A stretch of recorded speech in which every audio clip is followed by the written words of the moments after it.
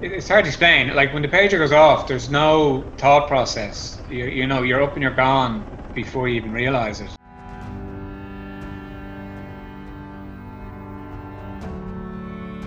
Anytime you hear someone in the water, it, it kind of it just raises your attention levels because it, it means that you have to get there quicker and, and the things that can go wrong can happen much quicker and become much more dangerous.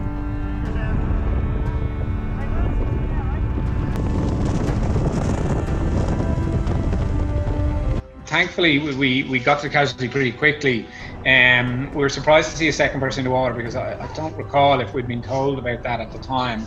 They were probably about a mile out to sea when we got them, and you know that's a fair distance. So it was an older gentleman and a younger boy. So we just assumed it was father and son. So they they had done the right thing. The, the the younger kid was on the board, and the elder gentleman seemed to be just kind of controlling the situation.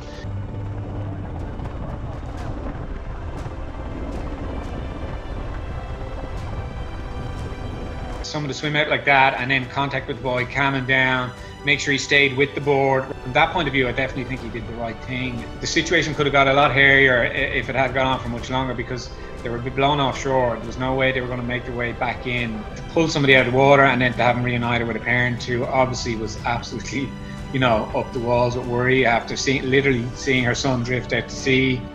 For her then to have to, you know, come back into the lifeboat station and meet up with him again and realise that he was safe and well was, was pretty amazing.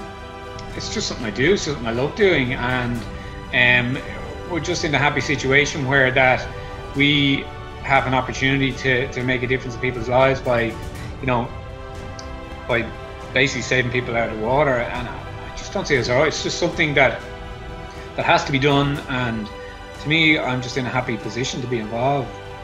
And it's something that, that means a huge amount to me, and I'm, I'm very happy to do.